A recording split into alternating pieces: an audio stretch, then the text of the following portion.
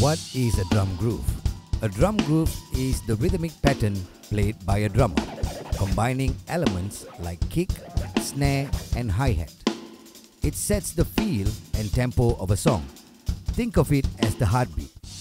A good groove enhances a song's energy and helps keep everything in sync, making listeners want to move or dance.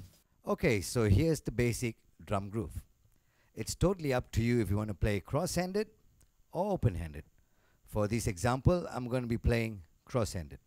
So the hi-hat is going to be with the right hand, the snare drum is going to be with the left hand, and the right foot is with the bass drum. So we start with the hi-hat, it's going to play 8 note, and it's going to go like this. One and two and three and four and and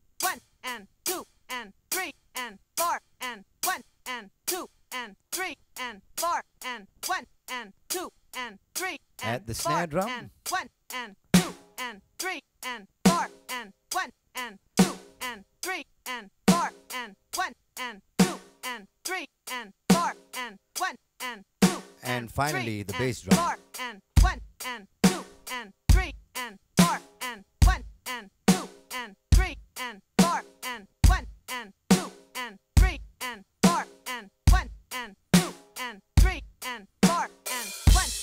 two and three and four and